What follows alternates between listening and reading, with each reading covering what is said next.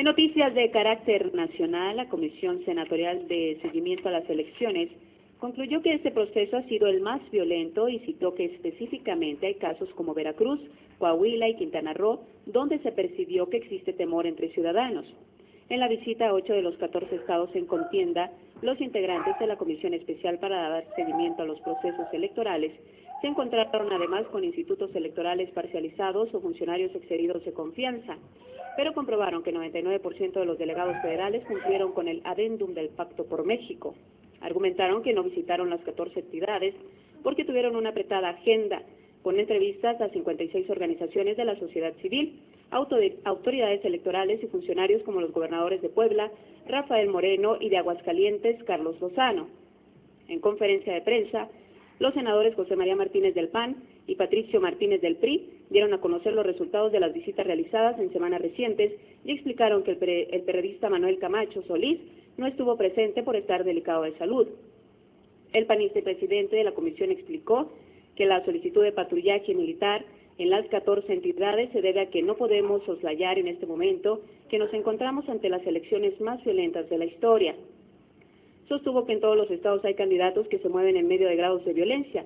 Algunos los han asesinado, a otros los han levantado y unos más han sido agredidos físicamente. Esta situación, por supuesto, genera desconfianza y desaliento en toda la población que está dudando en salir a votar. Esto no podemos permitirlo, dijo.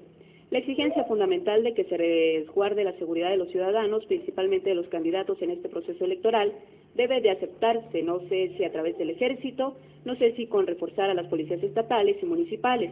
El problema es que hay desconfianza, insistió. El periodista Martínez discrepó sobre la necesidad de que salgan los militares a patrullar las calles, salvo en caso de que lo amerite.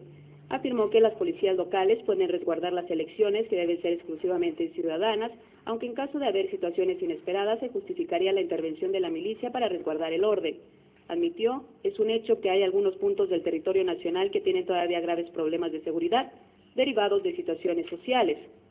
El desequilibrio económico y lejanía, pero hay condiciones razonables para el próximo 7 de julio, aunque no perfectas. Sin embargo, subrayó que no tuvieron ningún reporte de violencia que marcara focos rojos, aunque sí comentarios de temores en algunas zonas de la sierra de tal o cual estado. El reporte de Coahuila menciona a las ONGs ya no denuncian porque a los que citan son a los que hacen las denuncias, no a los que denuncian. Muchos, muchos otros no quieren denunciar por miedo a perder su trabajo o su seguridad. Respecto a Veracruz, apuntan que hay una visión nada optimista en general. En seguridad detalla que los medios de comunicación se encuentran temerosos y callados a causa de la desaparición y muerte de varios periodistas.